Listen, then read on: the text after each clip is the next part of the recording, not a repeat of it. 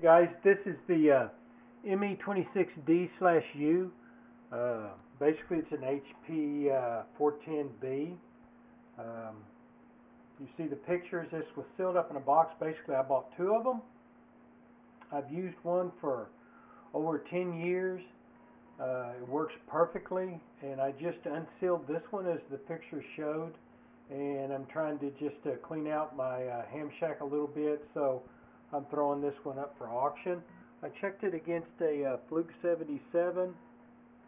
Uh, used some two batteries, powered it up slowly over about eight hours on my uh, Variac, and checked the AC voltage and everything. Seems to uh, be working just fine. Uh, comes with the uh, probe. You get uh, all the all the leads are uh, on here and uh, they look real good. Um, there's 1 volt, 3 volt, 10 volt, 30 volts, 100 volts, 300 volts, and 1000. You can Google um, this box online. Comes with a manual and all the documentation. Ohms adjust, AC, zero out.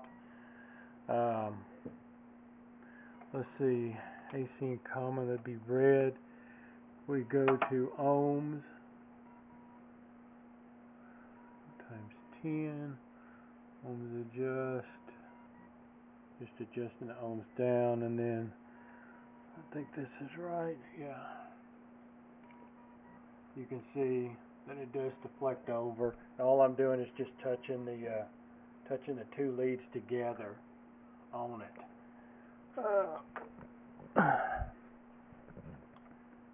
lamp works showing it's powered up and everything. Uh, here's the uh, sealed box that it came in. That's the back cover and the top. Uh, here's all the documentation. Comes with a manual, a warrant, uh, warranty from the Tobyhanna Army Depot in Pennsylvania. Got a shop tag that uh, they took it in and restored it in 1983 has this packing list. Here's the second one I got. Manual.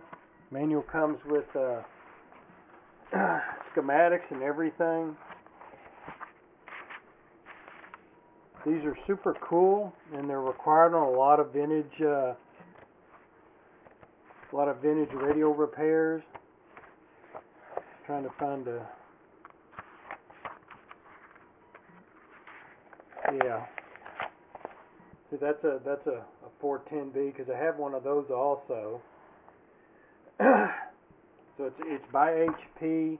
It's it's in this military version. It's uh it's pretty uh pretty badass. Uh, just heavy duty all around. Even the probe, unlike the uh, 410B, the probe is uh, uh, pretty wicked. It's almost self-destruct, destructible. And uh, all of these that I've seen uh, are bent this way, I guess, to reach down in between stuff. Uh, I know some friends that bought a couple of these when I bought mine about 10 years ago. These two I have. Uh, theirs were bent also, so I'm, I'm uh, pretty sure that's design intent to reach down inside of components instead of trying to do it straight like you would have to do on a uh, the RF probe on a 410B. So if you have any questions, uh, send me a message. That's it. Thanks.